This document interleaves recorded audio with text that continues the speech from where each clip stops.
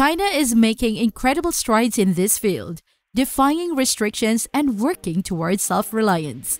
From breakthroughs in DUV and EUV technology to the rise of domestic companies challenging established players, the Chinese lithography machine industry is on the verge of a major transformation. Welcome to Revel Technology, where cutting edge meets limitless potential in the world of innovation. So buckle up and get ready to dive into the fascinating world of chip manufacturing and the incredible progress happening right here in China.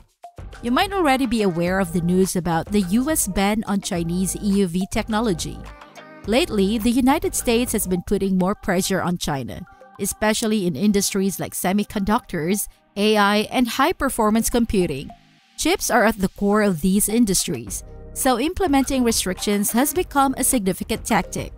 For instance, Huawei made a name for itself as a global leader in 5G technology, which caught the attention of the United States, leading to chip bans. The key lies in the lithography machines. China has been working hard in this field, and recently they've made some exciting breakthroughs with their own domestic lithography machines.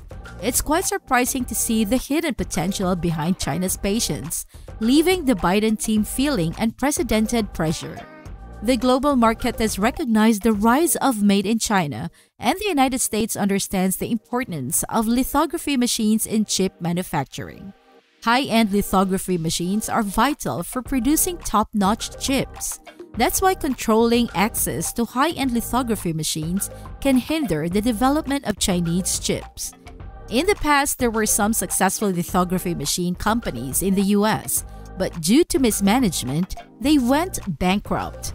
Right now, the major players in the global lithography machine market are ASML from the Netherlands, Nikon and Canon from Japan, and Shanghai Microelectronics from China.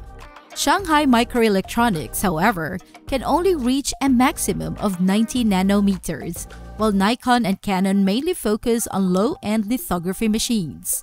But when it comes to lithography machines, ASML dominates the conversation holding about 90% of the market share worldwide. And you know what? It's not only Huawei that's taking this seriously. Ever since the US started imposing chip restrictions on China, domestic companies and research institutions have woken up to the significance of developing their own core technologies. It's like a wave of chip autonomy sweeping through China, and the lithography machine industry is no exception. The thing is, the tighter the restrictions on lithography machines get, the more determined China becomes to break through in this field.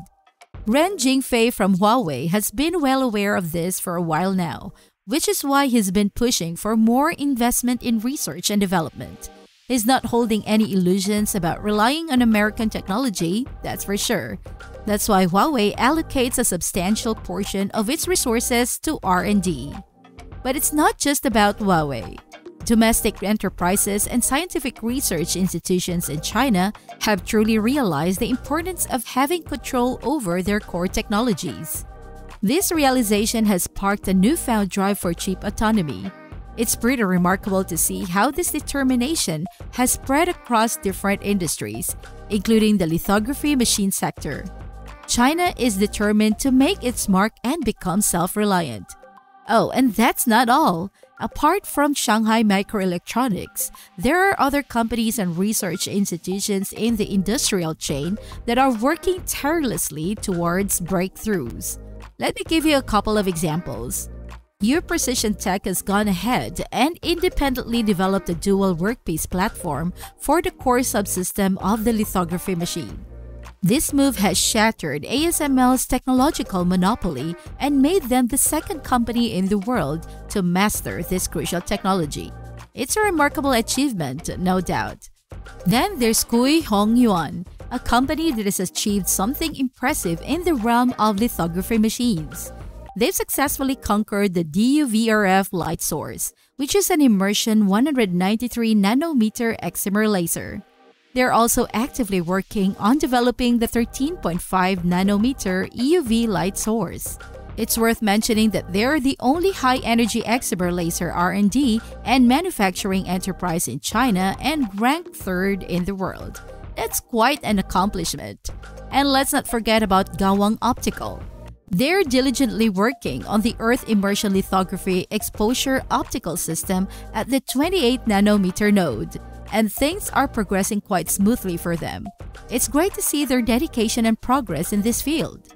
I should also mention the significant contribution of the Harbin Institute of Technology, which is one of the esteemed Seven Sons of National Defense. They are actively involved in the research and development of domestic lithography machines. Just this past February, the Harbin Institute of Technology made waves by successfully developing a high-speed ultra-precision aerial interferometer. Their achievement was recognized with a gold medal at the prestigious World Photon Conference. It's truly inspiring to see these advancements and breakthroughs coming from different players in China's lithography machine industry. It's a testament to their determination and commitment to achieving self-reliance in this critical technology domain. You know what's even more impressive? The latest breakthroughs made by Chinese companies in lithography machine technology. Take, for example, the Harbin Institute of Technology. In April of this year, they achieved yet another milestone by successfully developing the electric energy conversion plasma circuit technology, which enables the realization of the DPP EUV light source. Although there's still a gap to bridge in meeting ASML's EUV light source standards, the fact that the technology has been realized is a significant achievement. After all, the light source is heart of any lithography machine. Currently, the most powerful EUV light source comes from the American company Cymer, which is renowned for producing ultra-high-end EUV light sources. ASML, the industry giant, relies on Cymer for their EUV technology. However, with ASML's access to Cymer's EUV technology restricted by the United States, China has taken matters into its own hands. Chinese institutions and companies, including the Harbin Institute of Technology, the Chinese Academy of Sciences High Energy Synchronous Light Source Equipment, and Tsinghua University's SSMB light source, have successfully conquered EUV light source technology. These breakthroughs have laid a solid foundation for China's domestic EUV capabilities. It's not just about tackling DUV technology. Chinese companies are also determined to overcome the challenges in EUV technology. In fact, there is exciting news on the horizon. Shanghai Microelectronics is currently testing their 28 nanometer lithography machine, and the introduction of EUV technology may be closer than expected. It's safe to say that even ASML and the United States might be taken by surprise.